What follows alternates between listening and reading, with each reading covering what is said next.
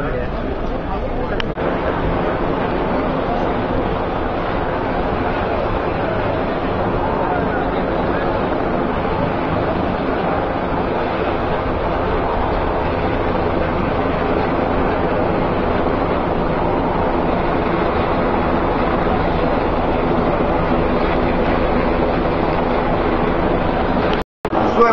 Hartzea gaurko manifestazioan txalotu nahi dut. Oraindik jende pila sartzen ari da plazatik. Rodolfo Arezen gogoa oso bestelakoa zen. Oso bestelakoa.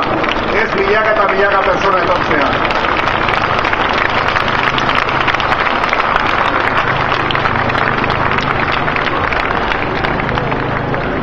Seguruen Aresek manifestazio hau txutxu tren turistiko horrek egiten duen ibilbidearen pareko izatea izango litzateke. La Perlatik, Maria Kristinara, Donostiako gune eta kale nagusietatik kanpo edo zein modutan ere.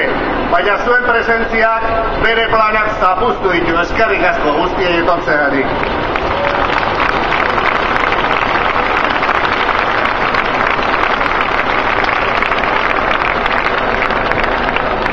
izan da agerikoa beste behin ere hanka sartu dutela. Beren inmobilismoagatik kale egiten dute etengabe. Izan ere, urduri daude, PSOE eta PP. Eta soilik baretzen dira zerbait debekatzen dutenean. Debekatu, baldintzatu, traba egin edo mugatu. Naiz eta urratzen duten eskubidea denona oinarri oinarrizkoa izan. Herritarrek kalean bere topaleku naturalean bere nahiak eta errebindikazioak eskatzarena barne. Horregatik saiatu dira gaurko manifestazioa murrizten, oztopatzen. Dena dela, askoz kezkagarriagoa da gure ustez, beste eragile asko azken bururaino eraman nahi duten konponbiderako prozesuaren egun eginkizun nagusietan bi alderdi horiek erakusten ari diren inmobilismoa. Donostiatik, eleak mugimenduak dei egiten diegu aurrerantzean beste jarrera bat izan dezate. Irailetik aurrera ikasturte politiko berriari jokamolde eta politika berriekin ekin diezaioten haiek ere baitira konponbidearen giltzarri. En cualquier caso, avanzar en la buena dirección y materializar un marco democrático en Euskal Herria exige que todos los agentes políticos y sociales den pasos, pasos concretos. En primer lugar, hay que abandonar cualquier tentación de tensionar artificialmente a la sociedad vasca.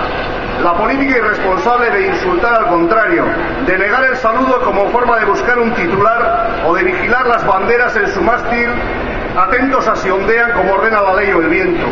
A esos provocadores de verano hay que decirles, antes que nada, que la fiesta es compatible con la reivindicación y que lo que sobran en los recintos festivos son agresiones sexuales, persecuciones de fotografías, provocaciones policiales, exclusiones ideológicas y normativas elitistas.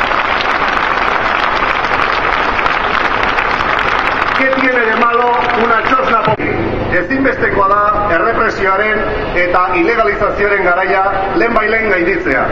Debeku, atxik, atxilok eta tortura epaiketa politiko etu, eta euroagindu gehiagorik ez, bezez, gehiagorik ez. Bestalde, sortuk legala behar du izan.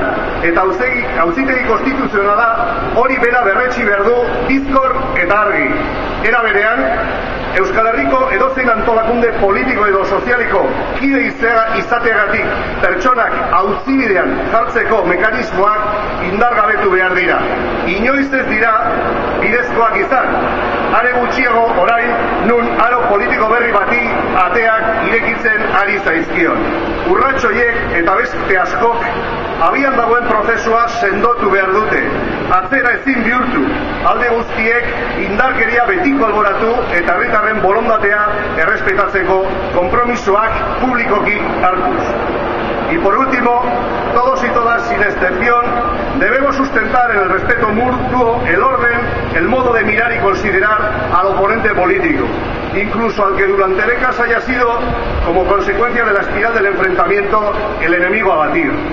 Estos días se habla a todas horas de las víctimas y del respeto que merecen y han de concitar. Han sido atacados los monolitos en recuerdo de Juan María Jauregui y de Fernando Mújica, hechos ambos que rechazamos sin paliativos.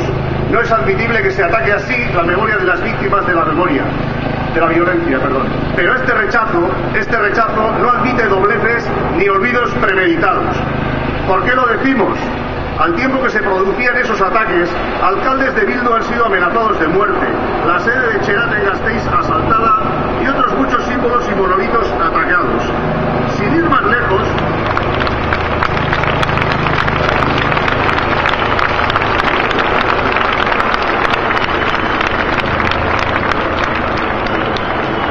sin ir más lejos, tomando como centro de referencia este mismo escenario, ¿alguien recuerda que un policía mató a tiros en 1949 a Óscar Aristoy cuando salía del cine Victoria Eugenia que tenemos al lado? ¿Dónde está la placa institucional que lo recuerda? Al final del boulevard.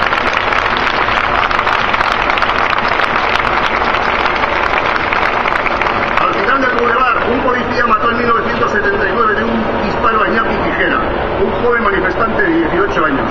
Desde entonces, decenas de placas con su nombre han sido arrancadas por policías y funcionarios municipales en aquel lugar. Otro tanto al otro lado del río, en la calle Miracruz, en recuerdo de Jesús García Ripalda. Las flores que la gente colocó para recordar, recordar a Miquel Castresana, muerto a tiros con la policía ahí mismo en la plaza de Guipúzcoa, fueron dispersadas a patadas por compañeros de los que le quitaron la vida.